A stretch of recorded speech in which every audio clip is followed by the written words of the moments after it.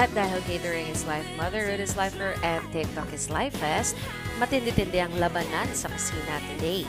Nagamit ko yung mga prepping skills ko, at yung mga little shortcuts ko, at saka yung pagiging organized sa kitchen para hindi nagkaka-rumble-jumble ang orders. So, inuna ko muna yung mga orders ng dalawang kumare namin na si Baday and si Shirley. Tapos, gaya ng sa pag-ibig, kapag alam mong hindi na talaga kaya, huwag mo nang ituloy. So, instead of me baking, I ordered from Rhea of Bake Ecstasy. She's my batchmate nung high school. I rarely recommend products, but her desserts are really good.